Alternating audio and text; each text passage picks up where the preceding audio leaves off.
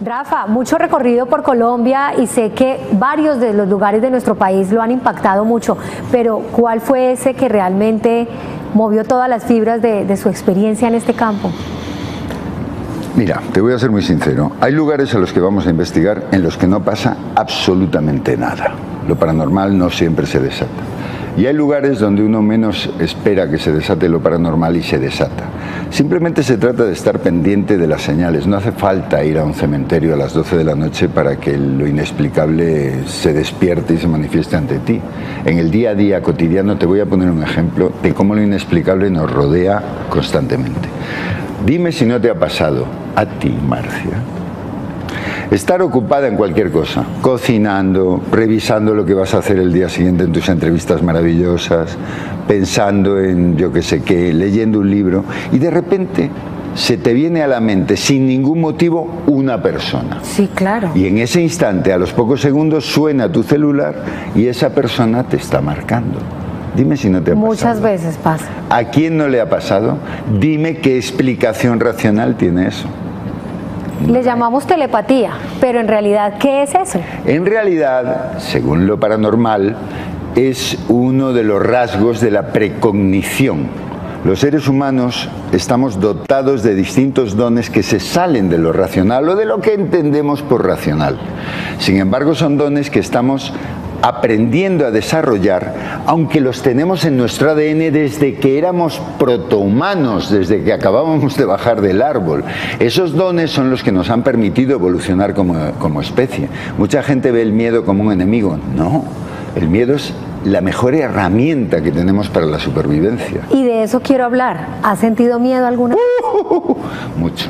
Es inevitable, por más que uno trate de racionalizarlo, que cuando ante ti se mueve un objeto inanimado, como en el Museo Naval de Cartagena, que una silla dio una voltereta ante mis ojos, una silla como esta. Pesada, sí cuando lo, lo, inexplicable se desata ante tus ojos, inevitablemente el susto viene, la adrenalina se apodera de ti y empieza a galopar por tus venas. Sin embargo, Marcia, he llegado a una conclusión. Cuando estos fenómenos se desatan a nuestro alrededor, no es para asustarnos. Sería ridículo. Tú ponte que eres un fantasma y que yo llego por aquí y dices, pues. voy a asustar a este tipo. No, se trata de intentos de comunicación pero son agresivos a veces esos, esos a veces instantes, te han atacado físicamente. Claro, por supuesto, porque según los expertos hay energías de luz hay energías de oscuridad, lo que llaman los bajos astrales, los demonios, los desencarnados que están llenos de resentimiento. Estamos rodeados de energías, no hay que estar hay que estar atento a las señales y te aseguro que uno se da cuenta de cosas increíbles que nos rodean en el día a día, a las 9 de la mañana. Y esas energías son de luz, son de oscuridad. ¿Existen otros planos de existencia? ¿O es todo fruto del poder ignoto de nuestra propia mente que de una manera subconsciente genera estos fenómenos?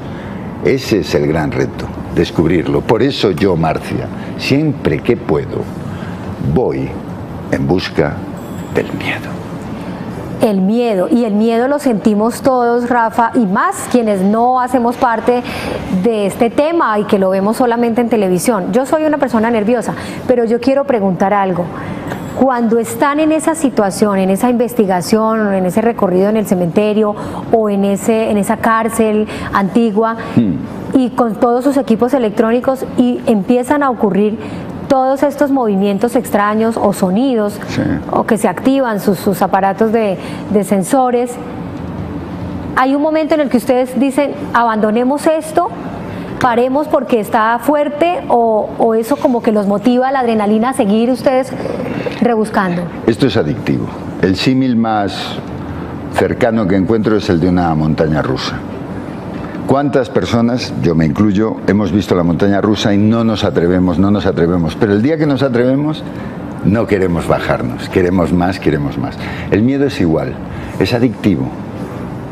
Eh, sin embargo, claro que en muchas ocasiones, yo en un par de ocasiones he dicho hasta aquí llegué, rien ne va plus, Adiós, ahí ¿Dónde estaban? Eh, una que recuerde, ¿dónde estaban cuando La Casa del Árbol en Armero. La Casa del Árbol en Armero es un sitio que es un vórtice de energías eh, no muy chéveres, Porque hay una teoría que defiende que donde ha habido una gran tragedia y donde muchas personas han perdido la vida al, unísono, como en Armero, pues es como la miel para las moscas.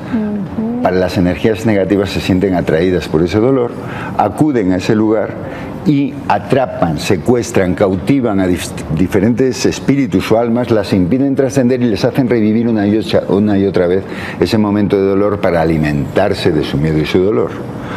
En Armero, en la Casa del Árbol, yo he estado a punto de tirar la toalla varias veces, pero fíjate en relación a esto que me decías de, no, las personas que no hemos vivido esto, yo realizo una experiencia que se llama 12 más 1 en la que invito a 12 seguidores a acompañarme y guiados por mí, exploramos 12 personas que nunca han tenido contacto con lo paranormal directo, exploramos lugares. El próximo es en Armero.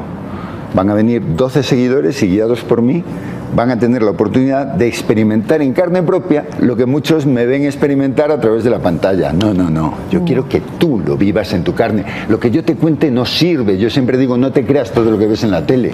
Lo que vale es lo que tú sientas.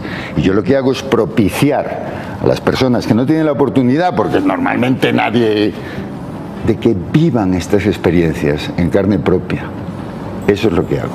Tenemos el concepto de que en los lugares donde hay mucha carga energética es donde pudo haber mucho sufrimiento, mucho dolor. ¿Qué hace que de pronto haya sitios mm, con más carga energética que otros? Pues chata, yo todo esto es especulación. Sobre lo paranormal no hay verdades absolutas, no las hay. No te comas el cuento, te lo eche quien te lo eche. Lo que vale es lo que uno siente. Y dependiendo de lo que se ha vivido en los distintos lugares, pues las energías son de carácter de signo positivo o de signo negativo.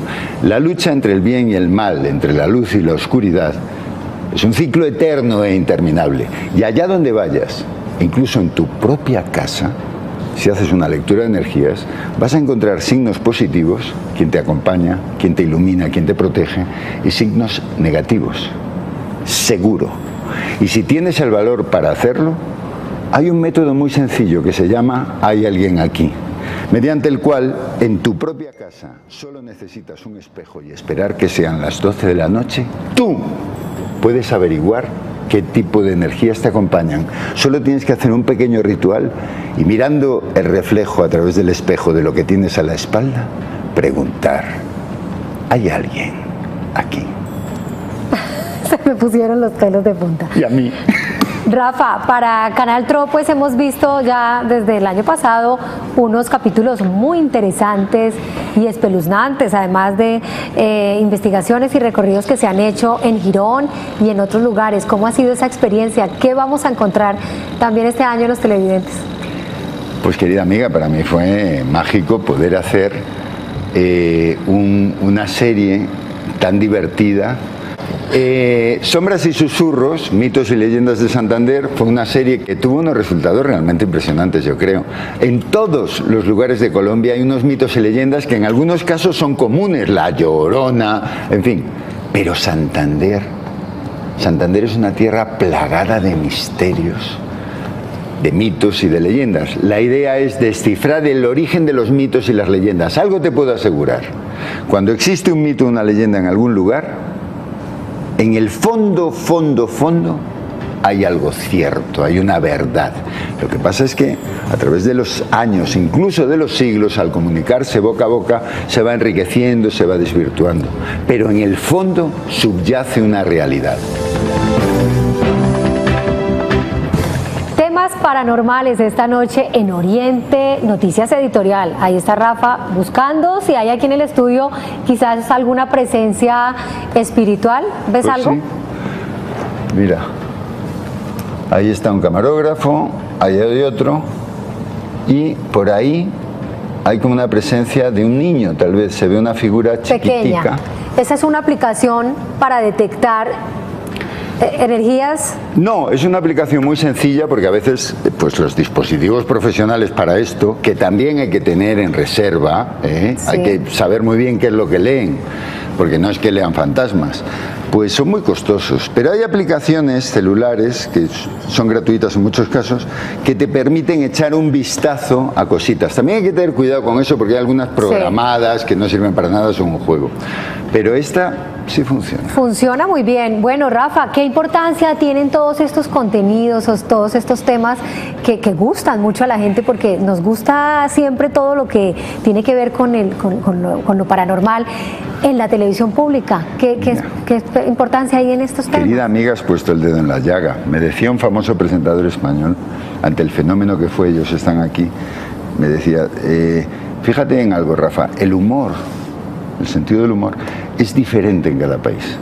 El humor anglosajón es muy diferente del latino, el, humor colombiano es muy diferente del humor español, que es más casquivano.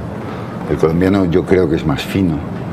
El sentido del humor es diferente en cada país. Sin embargo, el miedo es común a todo el género humano. En Angola, en Tumbuctú, en Moscú, en Bogotá, en Bucaramanga, la piel chinita que dicen en México es algo que nos une como especie.